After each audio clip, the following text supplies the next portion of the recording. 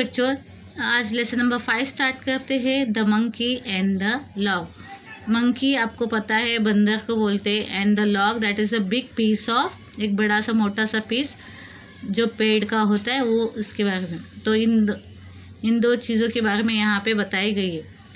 Listen read and enact once upon a time certain workman were busy building a temple when it was noon तो एक समय की बात लोग कर रहे हैं कि बहुत सारे वर्कर जो काम करने लोग हैं, वो बिज़ी थे वहाँ पे। टेंपल जो है, मंदिर बांधने में, और मंदिर के लिए जो चीज़ें वगैरह ज़रूरत थी, वहाँ पे वो रखे हुए थे, और लोग वहाँ पे काम कर रहे थे।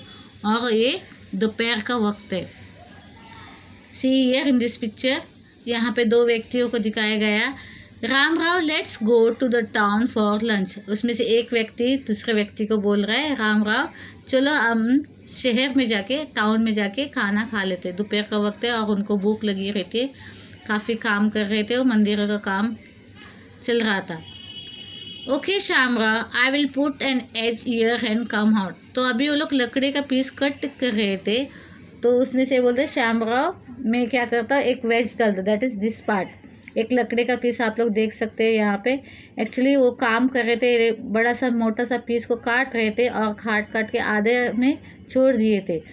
तो उन्होंने एक छोटा सा लकड़ी का पीस वेज को यहाँ पे फिक्स किया था ताकि दोबारा जब आएँगे तो वहाँ से काटने को शुरू करेंगे। तो इतने में दूसरा क्या बोलता है? Let's hope no one touches that wedge while we are away तो क्या बोल रहे लोग? लेट्स ना लेट्स होप मतलब कोई यहाँ पे ना है और इसे छुए। अगर ये छुएँगे तो उनको चोट लग जाएगी इसीलिए तो आशा करते हैं कि जब तक हम यहाँ से लौट, यहाँ पे लौट के नहीं आते, तब तक कोई यहाँ पे अपने काम करने के वहाँ पे कोई ना आए। सडनली मंकी अराइव्ड अब इतने में क्या है? एक मंकी वहाँ पे आ जाता है। What is this piece of wood doing तो देखिए you can see in this picture वो लोग ने लकड़ी का पीस फंसा के रखे थे ताकि दोबारा जब आएँगे तो वो वहीं से काटने शुरू करेंगे। तो अभी मंकी देख लेता है और बोलता है, ये छोटा सा पीस लकड़ी का यहाँ पे क्या कर रहा है? I wonder what will happen if I pull it out तो अब वो सोच रहा है, क्या होगा अगर मैं इस टुकड़े को निकाल दूँगा यहाँ से? तो वो क्या करता है, उस टुकड़े को वहाँ से जो बीच में एक हिस्सा फंसाया था लकड़े का, उसको खींच के निकाल देता है। बड़ी मुश्किल से उसे निकाल लेता है। देखिए यहाँ पे इट्स टफ यानी बहुत मुश्किल है कि उन्होंने फंसाया था।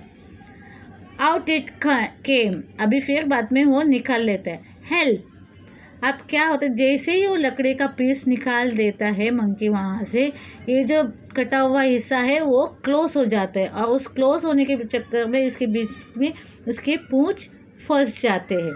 ओके सी यहाँ पे पिक्चर में आपको नज़र आता है। इसने वो छोटा सा लकड़ी का पीस जो बीच में रखे थे गैप बना के रखे थे, उसमें से वो हटा देता है। और गैप जैसे जैसे ये लकड़ी का पीस निकलता है, वो गैप क्या होता है? क्लोज हो जाता है ठीक है और उस क्लोज में क्या है? इसका पूँछ फंस जाता है।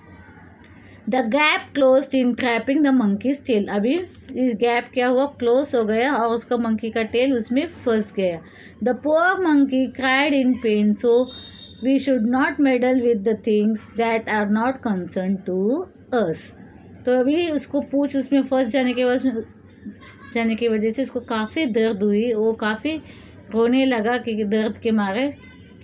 तो इसलिए यहाँ पे कहा गया है हमें सीख दी गई है, जो चीज़ आपका नहीं, काम का नहीं है, उस पर कभी भी आपको इंटर इंटरफेयर नहीं करना चाहिए। उस काम के बीच में आपको नहीं जाना जो आपका काम है, सिर्फ़ उतना ही करना है। दूसरे का काम में आपको जिस बारे में कोई जानकारी नहीं है, पता नहीं है उस चीज़ में आपको हाथ नहीं डालना चाहिए। हो सकता है उससे कोई नुकसान पहुँचे आपको या किसी और को। तो दिस इज़ ये आपको सीख दी गई है इसमें। So we should not meddle with the things that are not concern to her यानी जो चीज़ अपना नहीं है या जिससे अपने को कोई मतलब नहीं है, उस चीज़ को हमें जाके वहाँ पे इंटरप्ट नहीं करना है इंटरफेयर नहीं करना है या वी कान से किसी चीज़ में अपना हाथ नहीं डालना, जो चीज़ आपका अपना किसी काम का नहीं है। तो ये सीख है, ओके? यहाँ पे कुछ वर्ड्स दिए गए हैं हार्ड वर्ड्स है that you have to write कि कंप्लीट द फॉलोइंग फ्रेजेस है जो आपको दिया जाएगा आपको, as an assignment okay bye, see you and meet you in the next lecture.